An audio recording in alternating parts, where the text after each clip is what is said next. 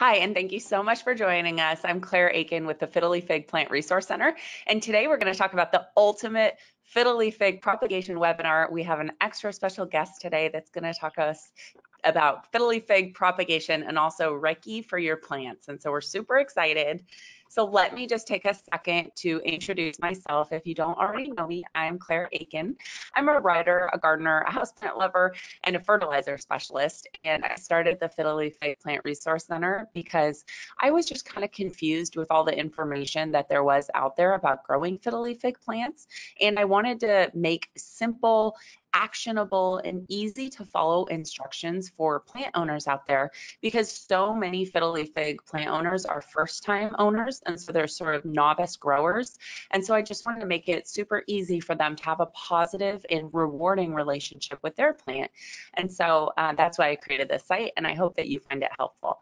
I'm also a lecturer at UCLA Extension and I have two little girls and a wonderful husband. So um, I believe in the power of houseplants. I believe there's something special that happens when you have a plant in your home and you develop this relationship with it and you're able to grow it and take it from a small plant to a thriving, you know, larger plant. It just does something for our confidence and for our souls. And so I wanted to share the power of houseplants with you and make things really easy for even novice growers because to be honest, fiddle leaf figs are not the easiest plant in the world and they can be susceptible to some problems. And so I try to help as many people as I can to have a healthy, green, and gorgeous fiddle leaf fig. So if you find this webinar to be helpful, um, I ask that you share it on Pinterest or Instagram, and you can go to fiddleleaffigplant.com slash save to share it and then you can save 10% on all of our products, our plants, our shops, everything um, on our website. So go to the link below and you can either tag us on Instagram or share it on Pinterest and you'll automatically get your coupon code. If you have any problems, you can email me claire at fiddleleaffigplant.com.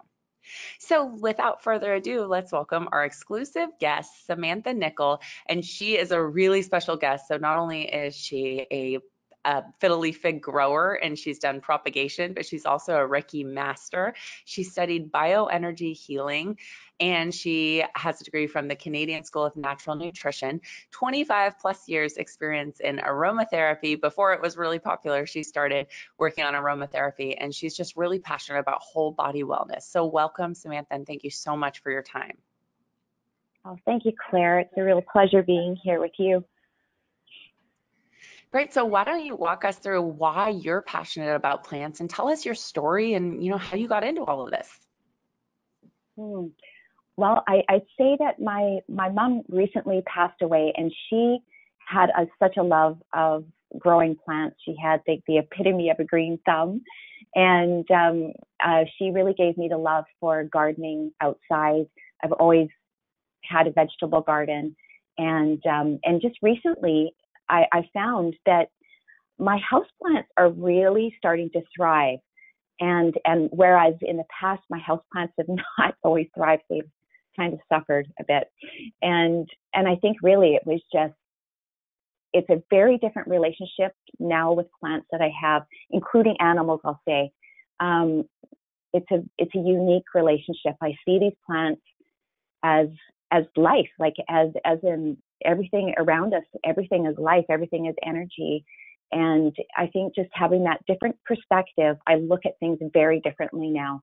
Um, my plants thrive because I give them attention and I talk to them, I name them, um, I tell them how beautiful they are every single day and they have beautiful, healthy root systems. So it's just really that communication, that intention, and that energy that I'm putting out um, I've noticed a real change in the energy in my home and in my plants since I started studying all this energy work. That's awesome. Yeah, and I I totally have experienced the same thing. And if you guys have watched my first webinar, the Ultimate Fiddle Leaf Fig webinar, one of the things I teach in that webinar sounded, you know, a little kooky to some people, and it's that you should yeah. name your plants and that you should bond with them, and it really makes a difference. I have some plants in my home that, for whatever reason, I didn't name and I didn't pay attention to them, and they never did as well as the plants that I really cared about and that I, you know, named and took the time to, you know, spend spend time with and take pictures of. And um, it's mm-hmm. just so interesting. You know, we don't really know how it works, but it works. And no. so Um, I really encourage people to give it a try if you haven't named your fiddle leaf fig. Um, it really does make a big difference on their health and their happiness. Um, so it does walk us through you know your background and and what is this japanese technique that um, can tap into this life force of energy and heal people because a lot of people out there mm-hmm. this is going to be their first time hearing about this um, so walk us through what it is how it works and and how we can use it in our lives yeah um, i want to i want to say that some some a really a deeper awareness of energy work I have now. Reiki is a, is one modality of many, many, many. And I'm going to say to everybody, Reiki, it doesn't have to be Reiki. I think we're all conduits. We're all channels for life force energy. Anybody can do this. You can heal your own body. I have done it. Um, you can heal your environment. Um, it doesn't have to be Reiki. It is really just getting into that um, intention, that space of being a channel for divine love. And, you know, that looks very different to many to different people. It could be God, it could be nature, it could be um, the ocean, it could be, it, it really just didn't, you just have to kind of dig deep into your own belief system and just go to that place of unconditional love. And we're surrounded by it. It's just, it's so powerful. I think I heard this gentleman recently say that life force is always flowing to and through us. So when you realize that, you just you start to become more aware of that energy flowing through you, and it's a really beautiful experience. Um, and to and then just to direct that through your body, almost like if you can imagine my daughter years ago said to me, well, mom, she goes like, what is God? She asked those questions that children do. And, and she said, well, what is God? And I had to really stop and think, you know, how do you explain that to a child? And I said, well, I said, you can't see God or whatever you believe in. But I said, if you look outside and on those windy days, you can't see the wind per se, but you can see the effect of the wind flowing through the trees, the grasses, the leaves, and they blow and you can see the effect of the wind. So I said that's kind of what that loving energy is. And it's always there, it's always surrounding us. I hope that makes sense to your, your listeners. So Reiki is just, it's a technique where you, um, you get into a state of intention and into a state of love and you trust and know that that energy knows exactly where it needs to go. And that could be with your plants. I use this on my plants all the time. And I've literally seen them transform before my eyes in a, in a slow process, not like in, you know, snap of a finger, but um, yeah, it's a beautiful thing. That is so cool. And I love that analogy. I think that's really, really powerful. Um, so tell us a little bit more. And you sent me some before and after pictures of your plant actually taking a leaf that was really damaged and yellow and turning back green and becoming back healthy and really reviving. So walk us through, you know, how our intentions affect plants and how you, you know, work with your plants to improve the health of them. Yeah. Um, when I moved to this home, I, I know fiddle leaf figs have a, a, they don't really like transition and they do bruise. Like you, I know on your site you show this beautifully and explain it. Um, they really don't like to be um, moved. um, so when I moved to this new home, it was a beautiful space for light um, all around it, really, but it's um, it really went into shock, and I noticed the leaves were just falling off like crazy. And um, then I, I had just started to learn this new modality of energy energy work through Reiki, and I was doing my classes in the room.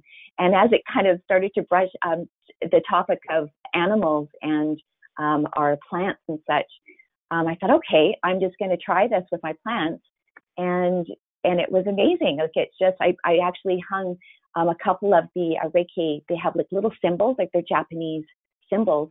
And I would put the little Reiki symbols, I would draw it out and put them on the tree. And I put some, I put some little uh, crystals that I had as well. I just kind of cleansed them before, put some loving intention into them, put them on the tree, in on the soil, and some even heart-shaped um, little stones that were given to me by you know dear people to me. And and every day I would go over, I would just put my hands, just kind of hover them gently above the soil. And again, just ask for life force energy to flow through me and into the soil. And I would just envision the soil being healthy, the roots being healthy. And again, the energy knows exactly where it needs to go. It's just beautiful. So, and then over time, like it was, I started to see this, this particular leaf because I thought, okay, I want to see if this works. And it was really incredible because the leaf was really yellow. At this point, any of the other leaves would have long been gone from the tree. They would have just fallen. But it kept hanging on, like it just kept hanging on to the tree, the branch. And it, you could start to see the reversal, like the green coming back in. And um, yeah, it was, it really took my breath away. It was a surprise to, you know, I know it works, but to actually see it with your eyes was something else. That is so cool. And I love that you took pictures. You know, this is kind of a um, you know, a, a, concept that people sometimes can't grasp. But you had a really pragmatic approach where you, you know, treated this plant every day and took pictures and proved that this works. And I think that's so cool. Mm-hmm. I've seen mm-hmm. it work too in my mm-hmm. plants, and I've had plants yeah. that are, you know, taking a turn for the worse that I've been able to save. And so I encourage yeah. people who are listening that are maybe a little bit skeptical to take before and after pictures of your plant and maybe, you know, mm-hmm. just save them on your phone and flip through them after a couple of weeks or a month and see how how your plant responds um, because I have some mm-hmm. really amazing pictures on my phone of my plants. And sometimes you don't know because plants change so gradually, but a month later, your plant will be a lot taller, or a lot greener, or a lot different. You may not yeah. notice the change, but if you actually flip through the pictures or do it before and after, it's really fun to see that effect. Yeah. And Claire, I, I also find too that the when you do set in like your like that loving intention and talk to your plant and and you know treat it like your your best friend almost. It's a funny thing but it's you do notice this different vibrancy about your plant um, as opposed to when you ignore it and don't give it any attention. Like there is a real difference in the vibrancy and the life force of the plant coming through yeah, yeah. And these are your before and afters. They are just stunning. Your plant looks so healthy now in the, the third picture on the right. Um, but yeah, you could see yeah. it was definitely suffering. This looks like something to me that where, you know, maybe it wasn't getting enough light, maybe it was overwatered, maybe it even had uh, like the beginnings of root rot and some spots coming in, but you were able to revive it. And I just right. think it's so cool. It looks great. Um, yeah. So yeah, it's fantastic. Pretty so neat. yeah, one of the other things that I know everybody is really, really excited to talk about today is propagation. And you have gone through mm-hmm. the process of propagation. And this is just a topic that I get so many questions about, and I get so many people asking me, um, you know, how they can propagate their plant and get more information. So we're going to walk through today a step-by-step propagation process, and we will start, and I will just let Samantha kind of take it away, uh, but walk us through your steps of how you propagate fiddle leaf figs. Okay. Uh, first off, I, I, I will say don't be afraid to do this because I was terrified because I, I had actually let my my fiddle leaf fig get um, too lanky and it was and I wasn't rotating it in the spot. It just it, it wouldn't work quite right and um, so it was getting very very leggy and weighty. So I knew that I would have to propagate it and um, cut it back because um, it was it was going to start to cause damage to the main trunk. And yeah, so springtime, I prepped myself for a year, like for a few months, I mean, and um, I got my my little pruners and I made sure they're very clean, sterilized, and just went to town on it. And I took off like snapped off, um, cut off two big branches, and I probably got a, I probably had to get rid of about uh, I'm gonna say about 40 leaves I think, big leaves, and that was so sad to me. But the two pieces that I was left with, I'm probably getting ahead of myself here, Claire. Am I? um, the two big pieces that I was left with, I put the rooting hormone on them and put them into some clean filtered water, kept them in a bright area, and it was about five weeks and I had the most amazing roots coming out of them. I think during that first three weeks, I was just like, oh no, nothing's happening. This isn't going to work. Um, but honestly, I was blown away. It was like almost like within a couple of days, it seems like the roots just exploded. Um, and then I put them into some soil, into some nice pots with good drainage in the bottom. And I noticed within two weeks, and this is when I actually contacted Claire for the first time, um, the roots were actually growing so fast, they were coming up and up and out of the pot. They were growing upwards, which was strange to me. So I contacted Claire, and that's when we started our discussion and um, decided to go for an even bigger pot.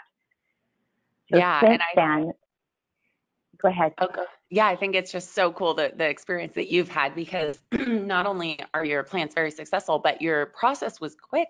Um, so I typically tell people six to eight weeks um, is average for, um, you know, fiddle leaf figs to start rooting in water. Um, so yeah, tell us, did you use a rooting hormone in your process or did you just use plain um, tap water without any rooting hormone? No, I did actually use the rooting hormone. I can't recall which one it was. Um, and then I did I did use uh, good filtered water, okay, and I perfect. changed that probably I changed that out probably every I'm going to say every five days. Okay. Great. And what about um, the chlorination? Did you worry about that? I know some people, there's two schools of thought that you should leave your water out overnight, or if you just, you know, put it in the tap, there could be chlorine in it. But I've heard that um, that doesn't affect anything. In my experience, I don't worry about the chlorination. Uh, did mm-hmm. you worry mm-hmm. about that? I did, um, and I have like a, a, system in my home. I'm, I'm, sure many of your listeners are familiar, but it's a, a water filter called a Berkey filter with a B for Bob, Berkey and um, they're amazing home system and you can travel with them um, it, but it does really clear out 99% of everything in your water all the harmful stuff. So i did make sure that i used it. You know that's not true. I actually did use tap water a couple of times because my filter was empty. Yeah yeah, so, but I, yeah, I, I, just use tap water with mine, and I haven't had any, um, you know, bad effects. But I know the chlorination is different in different areas. So, you know, if you want to be super mm-hmm. safe, you can leave your water out overnight, let the chlorine evaporate. Um, but a, a, rooting hormone is definitely a good option. I do recommend it. Mm-hmm. Um, I get hundreds of emails from people who are propagating fiddle leaf figs, and the people who use a rooting hormone typically are more successful. Um, so I think it's mm-hmm. worthwhile, and it's pretty cheap. I'll link some below. I typically just use the Miracle-Gro rooting hormone. I think it's like four or five dollars on Amazon. So I will add a link mm. to that. Um, you want to use a clean container, you know, either like a glass container. Make sure it's super clean. You clean it out, um, like Sam said, every you know five six days. Um, and then, like she said, you cut the stem off your existing tree. And so um, I recommend just the top where there's new growth because that seems to be more successful. Um, so technically, mm-hmm can root a leaf on its own, but I see people have more success rooting cuttings of the actual stem. So you want to do it below the leaf node about a half an inch or so where there's new growth um, and just make sure, like you said, to use clean pruning shears. I had a heartbreak one time where I used pruning shears on a plant that had root rot and then one of my other beloved plants and I ended up accidentally spreading the infection and the plant died. So it is, you know, it's something we say, but it is important to run them through the dishwasher or sterilize them because they can spread um, fungal, bacterial, and even viral infections between your plants. Um, so yeah, you cut the stem, mm. make a 45 degree cut if you can. You want to have as a big of a surface area as possible for the roots to start growing from. And then, like we said, use a rooting hormone. Just you tap the um, the stem into the rooting hormone powder, and then you just put it in in plain water in a bright place too. So you don't want direct mm-hmm. sun the funny thing about direct sun is, you know, you want to give your cutting a lot of light, but you don't want the sun on the water because the water is, you know, basically stagnant water. Um, and so the more sun that it gets, the warmer that it gets, and the more bacteria can form in there. So it's kind of a balancing act to give your cutting a lot of light, but not too much so that it gets hot or bacteria starts to grow. In that case, you want to be changing the water more often. So just bright indirect light is typically kind of the way to go there. And then you know, wait one or two months and look for your roots. Um, as soon as you start seeing roots in your water, um, I don't know, I would say half an inch or an inch roots maybe. Um, then is the time really to to plant your cutting. Um, how how long do you think your roots were in the water before you went ahead and planted your cuttings? I would say probably six weeks. Okay, perfect. And then from six, a six weeks in total. Okay.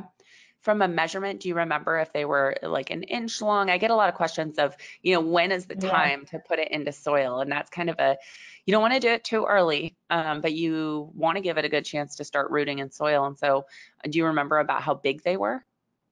I do. Yeah, I I felt, you know, not knowing um, not knowing exactly. I just felt it. I sort of felt intuitively that you wanted, um, obviously, a bigger root system. So I, some of the roots were a good three and a half inches um, in length. Um, they kind of had they were tentacly, right? So you would have uh, um, like longer ones and then slightly shorter ones, and then more of a kind of a ball is in the center. Um, but my roots were really good and really even, almost. Like that's the right word to say, but yeah. That's awesome. Yeah. And then you go ahead and plant it just in, you know, the typical soil that you would use for a fiddle leaf fig. And you want to keep the okay. soil moist for the first several weeks. So normally with fiddle leaf fig, right, you want it to dry out between between waterings because their root system really um, likes kind of a drier environment, but not for these new cuttings. They still need moisture for their baby roots to grow. So you do want to keep it not wet, but you know, lightly moist for the first few weeks until they really start mm-hmm. to take hold. And so I'll just go through a couple of pictures here. So this is your mother plant and it looks great. It's a beautiful plant. Um, and so these are some of your cutting pictures. So cool. You just use regular water glasses and you can see just fantastic light in your home. This is like the yeah. ideal situation. Um, but walk us through a little bit about what you learned. Wow. Um, you know, the, the plant on the on the left, that is that is hasn't done anything since I've planted it in the soil.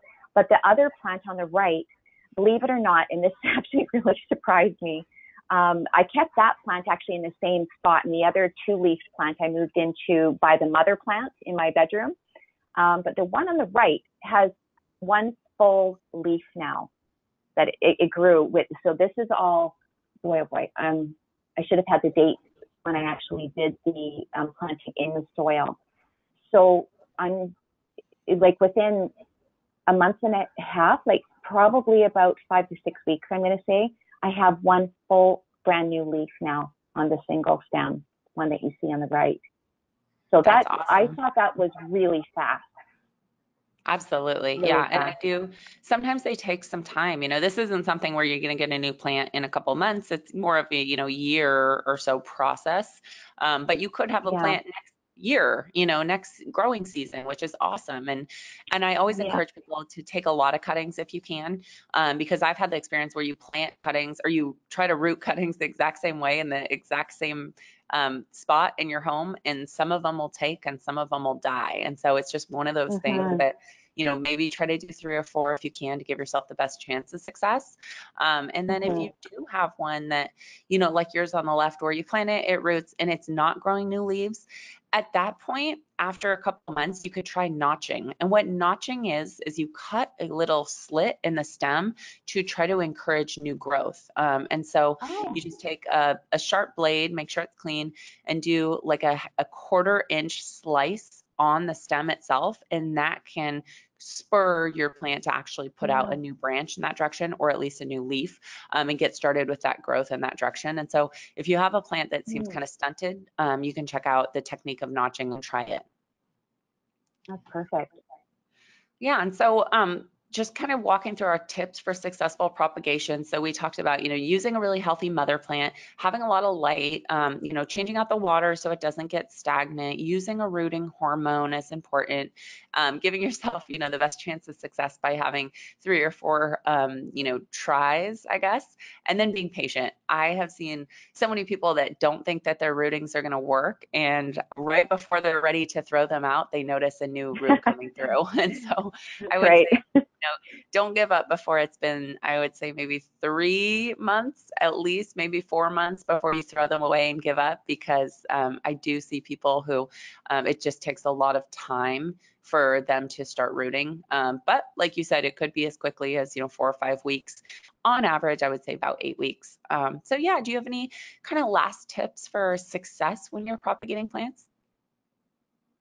Yeah, I would just I would say like watch these tips because Claire, your website is so informative. It is it's easy to use and uh, yeah, you're eloquent with your information, and it's just been it's a, really been a great toolbox. I really appreciate it. Um, I learned a lot through through your website, um, and I think just yeah, the the the combination of remembering that we really don't, you know, and this may not be in some people's consciousness conscious minds, but we are spiritual beings having a human experience, and we really don't know what we're capable of. But if you can start to just um, recognize all life around you, your animals, your plants, your relationships, as being these places to really put loving focus and intention on, just watch everything around you bloom. When you really choose to consciously think about that and kind of just wake up from that autopilot um, way of being in life and really just become consciously aware that you are a loving being and and that that beautiful life force flows through you to everything that you come in contact with. And it has a, a really powerful effect on people and things I love that. I love that advice. That is totally beautiful. And so I think that sums up perfectly, you know, how to use your intention to um, improve your plants and help them bloom. Mm-hmm. Um, and so if anybody wants to learn more, check out our website. Um, it has tons of information and um, tips and tricks and webinars and videos on how to propagate. If you are propagating your plant, please share your story with us. Email claire at fiddleleaffigplant.com or check out our Facebook group and post your pictures there. We have a huge Facebook group with tons of people and they really appreciate your tips and tricks. And um, if you can share photos of your plant's journey, it is super helpful to all of the members in there. Um, and so join us there. It's a lot of fun. We're also on Instagram. Um, and so I just want to thank Samantha for her time. It's super helpful. And I just love your tips and your philosophy and your way of life. And I really hope that everybody watching has enjoyed us. And if you like this webinar, please share it on Facebook or Instagram. Thank you so much for joining us today. Thanks, Chris.